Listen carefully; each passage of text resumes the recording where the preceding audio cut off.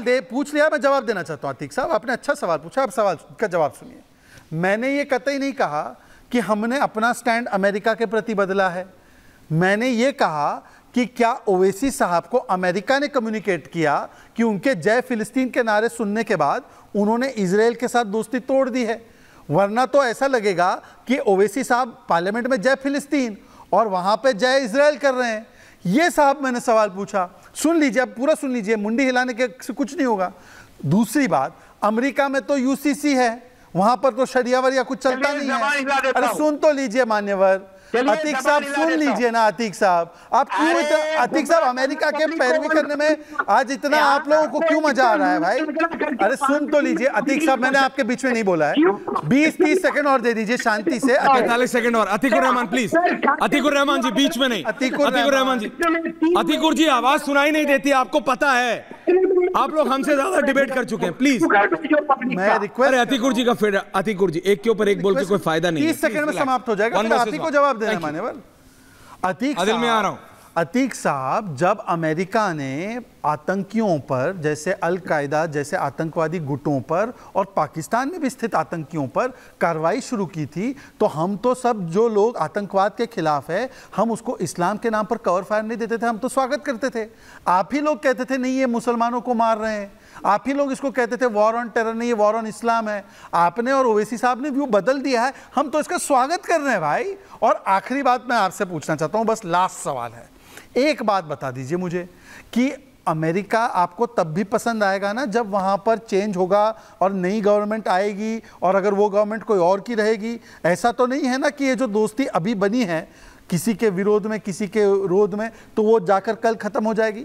और अब जो संदर्भ है वो ये है कि आप लोग बताइए कि गाजा में तो आपको सब कुछ दिख दिया। एक फतवा जो आपके मौलानाओं ने बोला हो कि हिंदुओं पर हमला हो रहा है बांग्लादेश में और ये गलत है। एक फतवा जारी हुआ हो। गाजा के लिए तो आप बहुत रोए। ठीक है अच्छी बात है रोते रहिए। आप बताइए कि एक फतवा जारी किया हो कि ये जो हिंदुओं के साथ है वो गलत है। भाई इलेक्शन की रैली नहीं है। वन फतवा। बोलिए बोलिए बोलिए क्विक आंसर ऐश्वर्या जी जवाब। सर बोलिए। ऐश्वर्या जी इन्हीं की बात को तो मैं आगे बढ़ा रहा हूँ। कि ये अमेरिका को लेके जो स्टांस आपका ये वही अमेरिका है ना, जिसने एक बार मोदी जी को या कई बार मोदी जी को वीज़ा देने से इनकार कर दिया था। गुजरात के प्रोग्राम के बाद उसके बावजूद आपने क्या कहा? अब की बार ट्रंप सरकार। तो ये स्टांस बदलना नहीं हुआ। अब जब हसीना जी को जब उनको दिखा दिया है रास्ता तो आपका स्टांस चेंज हो गया अब आप उसी अमेरिका जी को रास्ता दिखा दिया। करने पे आमादा है अब आप देख रही है, देश आ रास्ता। दिखाया है? अब आप अरे मुझे पूरा करने आप अब के हक में हैं। की- कुछ सीखिए of देखिए, intervention क्या of बात other है? nation. मैं- भाई, मेरा मैं नहीं कह रहा किसने किया। मैं आपके बीच में नहीं बोला ना ऐश्वर्या जी मैं बीच में नहीं बोला अच्छा वो बोलिए बोलिए जल्दी क्विक क्विक क्विक क्विक कुछ सीखिए कुछ सीखिए नोबल लॉरी आपका ऑडियो सर गड़बड़ हो रहा है। सर आपका ऑडियो गड़बड़ हो रहा है। आदिल जी आदिल जी आदिल जी आदिल जी आदिल जी एंडिंग कमेंट्स आदिल जी, मैं मैं फिर कह रहा हूँ, देखिए, आम टाइम पे होता, बातें नॉर्मल होती, चीज़ें ठीक होता मीटिंग हुई होती, शायद आई गई बात हो गई होती, मैं आपको फ्रैंकली कह रहा हूँ।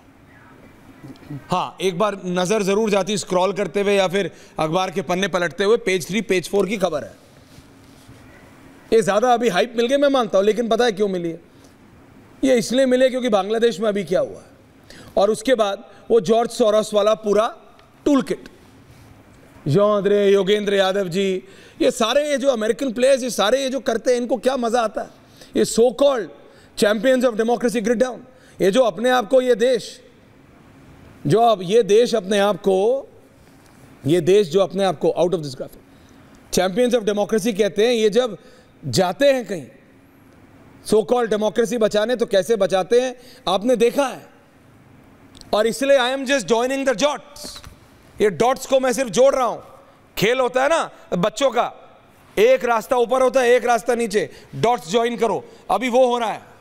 इसलिए इस पे ज़ोर दे रहा हूँ कि why what was the need अभी क्या ज़रूरत थी? और कोई बात नहीं है। नहीं तो पेज थ्री पेज फोर दो कॉलम की भी खबर नहीं है ये। खराब मत मानिएगा। ऑन अ नॉर्मल डे असल बात बैरिस्टर असदुद्दीन ओवैसी साहब पांचवी बार जीत कर जो गए हैं सर। मोदी जी से ज़्यादा वोट लेकर गए तो मुबारकबाद देने आई थी। दीपक जी राहुल पांचवी बार आप जीते हैं मोहतरमा अच्छा। मुबारकबाद देने आई थी। ओ कि आप मोदी जी से भी ज़्यादा पॉपुलर है मोदी जी से भी ज़्यादा आप वोट से जीते हैं वही मुबारकबाद देने आई है कि आपके तो आपके ट्विटर फॉलोअर फर्जी नहीं है वही बताने आई थी मोहतरमा। ये तो बहुत बड़ी समझा? ऐश्वर्या साहब। हाँ। और उसको ट्रॉलर को ट्रॉलर को ट्रॉलर को फॉलो नहीं करते हैं जो गाली देता है लोगों को उसको फॉलो नहीं करते हो। वैसी साहब वही धन्यवाद करने आई थी कि दोहरा स्टैंड नहीं है आसाराम के लिए पेरोल और राम रहीम के लिए पेरोल ये दोहरा चरित नहीं है वही आके मुबारकबाद देने आई थी कि भाजपा की तरह आप नहीं है। आप भाजपा की तरह नहीं है डबल नहीं आप रखते हैं। आप जो बोलते हैं डंके की चोट पे बोलते हैं। देख रही है जो बोल रहे हैं भारत देख रहा है। ठीक। ओके वही point आगे बताने ये आपका व्यू पॉइंट है। ठीक है दीपक जी एंडिंग कमेंट्स आ रहा हूँ शहजाद आई कम लास्ट आप करिएगा ना। आदिल भाई मैं सिर्फ़ एक ही सवाल पूछूँगा कि बैरिस्टर साहब ने अमेरिका की काउंसलेट जनरल को कहा कि नहीं कहा कि राफा और गाजा पर जो आप अत्याचार कर रहे हैं उसको बंद करिए? कहा हाँ या ना? इतना बता दीजिए। एकदम कहा दीपक भाई। एकदम एकदम कहा होगा बड़ी मजबूती से कहा होगा। उनका नाम बैरिस्टर असदुद्दीन ओवैसी है। कहा होगा या कहा? ये कह रहा मतलब हूँ मैं। जो अल्लाह से और अगर कहा तो कहा तो ये बात। सार्वजनिक क्यों नहीं है? जब आप जय फिलिस्तीन संसद के अंदर बोल सकते हैं तो ये बात सार्वजनिक क्यों नहीं है कि काउंसलर जनरल मुझसे मिलने आई? मैंने उनसे कहा कि आप मुसलमानों पर अत्याचार बंद करें। वो जयशंकर साहब को बतला दिया उन्होंने सोचा कि ये टीवी स्टूडियो में डिस्कस नहीं हो जयशंकर जी को ईमेल कर दिया है। Okay point taken Rahul Dev ji. Rahul Dev ji and then Shahzad जवाब दे रहे हैं सबको एक राहुल जी। भाई ओवैसी ने क्या कहा? मैं पहले कह चुका हूँ ये दो ही लोग बता चुके हैं उस मीटिंग में क्या कहा गया क्या सुना गया? वो दोनों बोलेंगे नहीं यहाँ पर यहाँ पर सब अंदाज लगा रहे हैं। तो अगर हम ये अगर ये अब दीपक से मैं क्या कहूँ दीपक के लिए मैं नहीं कुछ कहना चाहता तो उसको जरा इन पर भी सोचना चाहिए कि अब अगर वो अपनी छवि का एक ओबीसी पत्रकार की बनाना चाहते हैं और इस पर कुछ शाबाशी लेना चाहते हैं या एक निष्पक्ष सर ये मेरे शब्द इन सारी चीज़ों से परे छवि बनाना चाहते हैं। तो ये जरा उनको सोचना चाहिए। दूसरी चीज़ कि अगर मोदी जी उन्होंने ओवैसी ने उनसे क्या। फिलिस्तीन पे गाजा पे बात नहीं की और क्या की क्या किया किसी को मालूम है? किसको मालूम है ये? किसी को नहीं मालूम है सर। मेरे को तो फिर पता है मैं, तब- मैं अभी बताऊँगा तो मेरे को क्या किसी को मालूम नहीं है और दीपक को भी नहीं मालूम और किसी को भी नहीं मालूम बिल्कुल। तो हम उसमें से एक चीज़ अज्यूम कर रहे हैं और दूसरी चीज़ अज्यूम नहीं कर रहे हैं। मतलब ये जो एक लॉजिकल फैलिसीज हैं अपने आर्ग्यूमेंट की अपनी बात की ये भी तो कम से कम हमें दिखनी चाहिए भाई। Okay sir point taken Shahzad quick counter सबसे पहले तो एक दूसरे राहुल ने एक पत्रकार को उनकी जाति पूछी थी।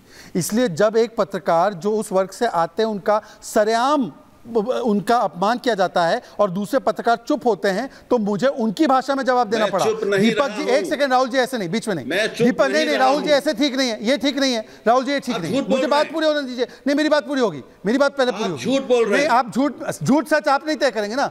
ये शो के व्यूअर तय करेंगे। नहीं नहीं झूठ सच आप नहीं तय करेंगे। जब लगातार बोला गया आदिल के द्वारा नहीं नहीं मेरी बारी आदिल जी प्लीज़ नहीं। सब इंटरप्ट कर नहीं नहीं अरे नहीं आप बोलिए ना। राहुल जी ने अपनी बात बोली राहुल जी के बिना बोल। Relax Adil ji please don't हाँ बोलिए अपनी बात पूरी